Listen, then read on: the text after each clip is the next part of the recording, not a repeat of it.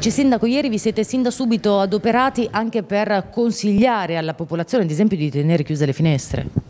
Assolutamente sì, eh, ne approfitto per ringraziare tutto il sistema di protezione civile, vigili del fuoco, le forze dell'ordine ed anche la cittadinanza per la collaborazione che hanno dimostrato in questa occasione di, di emergenza. Si è resa necessaria proprio per il fumo sprigionatosi dalle fiamme eh, invitare la popolazione a, a limitrofa soprattutto a tenere chiuse le finestre per evitare che il fumo appunto invadesse gli ambienti domestici. In poche ore però poi la situazione è tornata alla normalità.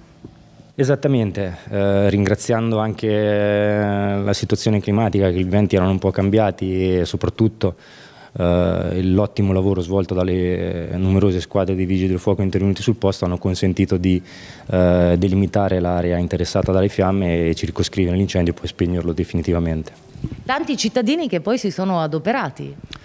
Altrettanto vero, e per questo che il plauso va anche alla cittadinanza sia per l'avviso tempestivo eh, ai mezzi di soccorso, ma soprattutto anche perché si sono adoperati fattivamente per collaborare con, con i vigili del fuoco. Io mi ricordo un signore che stava, bagnava il terreno a ridosso della, della carreggiata e è stato encomiabile.